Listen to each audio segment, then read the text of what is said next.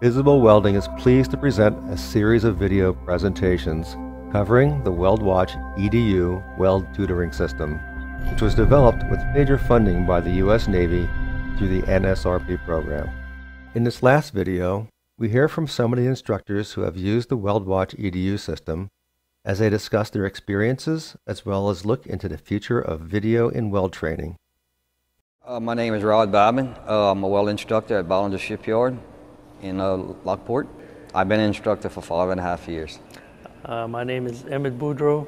I'm the vocational instructor at Bollinger Shipyard in Lockport. I've been there for the past 40 years. Well, they came in and um, they, they set the machine themselves.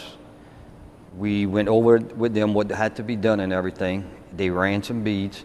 It pinpointed to them how they were holding the angle, the distance of the nozzle that they were holding. Um, it showed them how to set themselves, reset themselves, what they were doing right and what they were doing wrong. It showed them the different amperage that they were running, why was explained to them they were running a high amperage or a low amperage.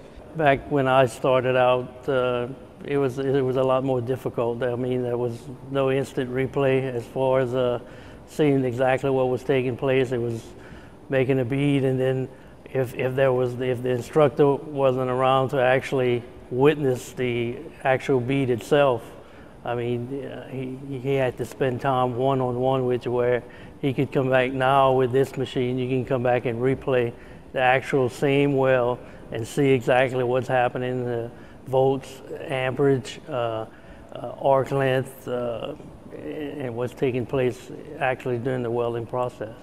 Well, what we did was, um, as they were welding, they seen the position that they were holding. They seen the turning of the nozzle. They seen how the nozzle should be straight. They seen the distance that they should hold for the wire as they welding.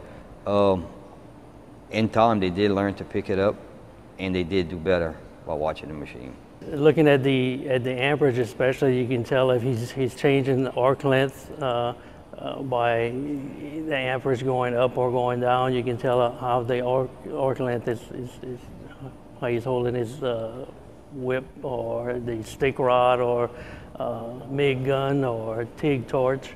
I mean, it works for all the processes. A lot of it was explained to them about the short circuit, was the reason for it, was the outcome for it, what we expect to look for. Um, some of them did good jobs.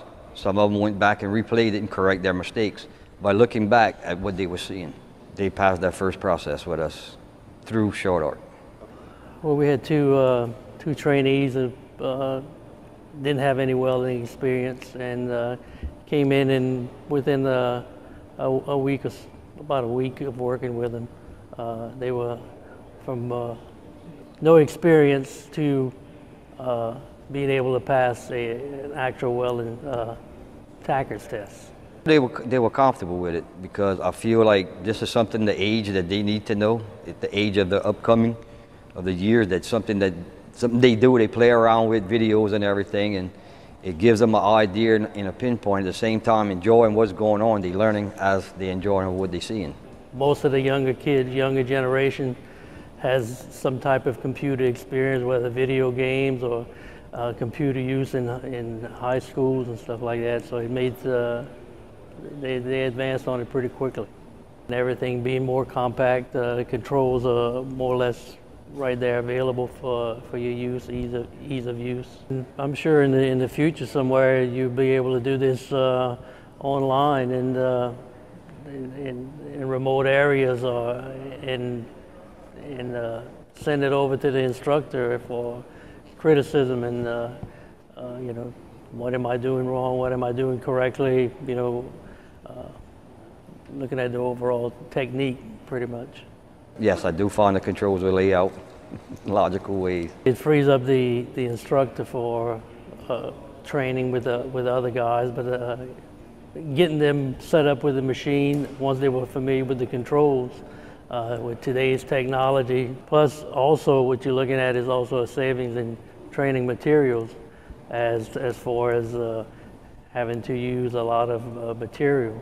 You're, you're, capable of running a bead and uh, recording, making uh, corrections, adjustments, and, and seeing exactly what's taking place, and then performing another well as compared to just welding and, and uh, having to do break tests.